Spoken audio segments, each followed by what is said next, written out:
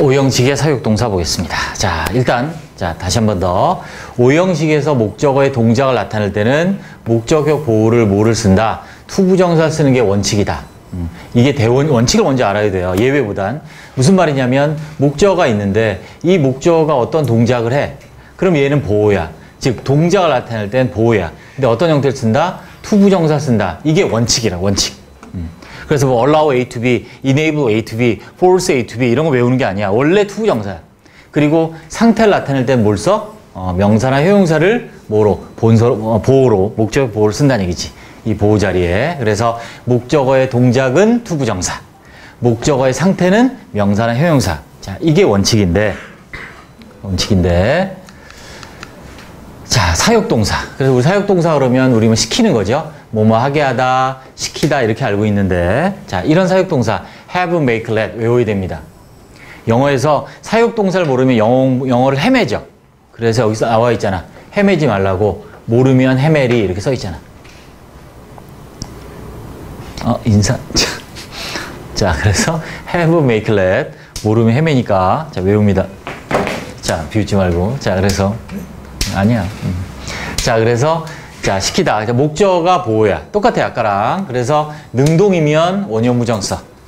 왜 원형 부정사라고? 원래는 to부정사를 사용하는 자리에 예외적으로 to를 생략한 부정사다. 원래 일반적으로는 to부정사 쓰는데 여기선 to를 뺀 어, 형태를 쓴다. 그래서 원형 부정사라고 한다고요. 형태는 당연히 동사 원형과 같은 거야. 형태는 같은데 그냥 이름을 원래 이 자리에 to부정사 오는 게 원래 일반적인 원칙이니까 원형 부정사라 말을 붙이는 거지. 부르는 거죠. 자, 그래서 수동일 때는 당연히 과거분사 past participle 이 형태를 쓰죠. 자, 그래서 사역동사는 예외적으로 일반적인 동사면 to부정사 오는데 능동일 때 원형 부정사, 수동일 땐 과거분사 온다. 자, 예문으로 확인해 봅시다. 자, 다시 목적어와 목적격 관계 중요합니다. 목적어와 목적격 보어의 관계는 목적어와 목적격 보어의 관계는 주어와 동사의 관계다. 뭐다? 목적어가 목적어가 목적격 보어의 의미상의 주어야. 왜? to부정사, 원형부정사, 현재분사 같은 준동사 같기 때문에 이 말 알죠? 의미상의 주어는 뭐의 주어가 의미상의 주어라 그랬지?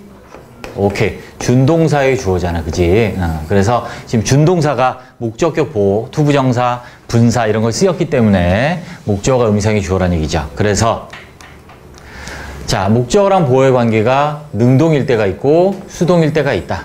능동이면 원, 사역동사일 때 자, 목적격 보호를 뭘 쓴다? 원형 부정사를 쓴다.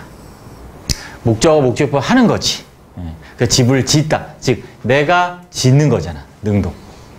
또, 과거분사는 언제다? 과거분사를 쓰는 경우 수동일 땐 과거분사 쓴다. 목적어, 목적 보호를 하는 것이 아니라 당하는 것이니까 수동이다. 자, 그녀는 시켰어. 집이 지어진, 진다, 지어진다.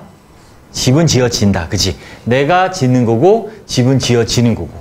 그래서 내가 짓는 거는 능동관계. 집이 지어지는 건 수동 관계 이렇게 되죠.